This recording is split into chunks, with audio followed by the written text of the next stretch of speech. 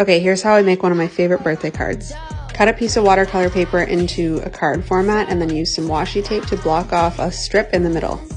I used two strips to make mine a little bit thicker and then open up some watercolor paint. I'm using liquid watercolor. This is Ecoline, but you can use whatever you want. And literally just start painting strips like this. You can do some straight, some on an angle, just try and make them all generally the same length.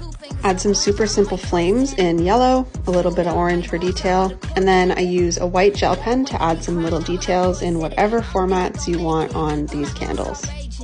Stripes, dots, whatever you want. Then I go back into my original colors and use some of those colors for details on the other candles.